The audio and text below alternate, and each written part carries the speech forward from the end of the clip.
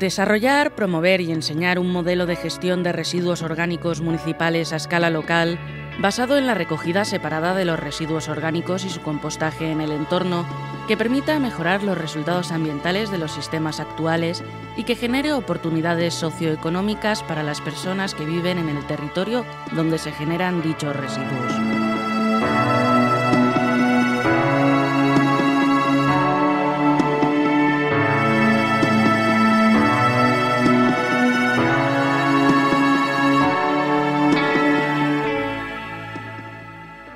El proyecto, liderado por Josenea y Universidad Pública de Navarra, ha sido llevado a cabo con la gran colaboración de entidades como Gobierno de Navarra, Consorcio de Residuos de Navarra, Mancomunidad de Sangüesa, Ayuntamiento de Lumbier, así como de asesores expertos como Luar y Ramón Plana.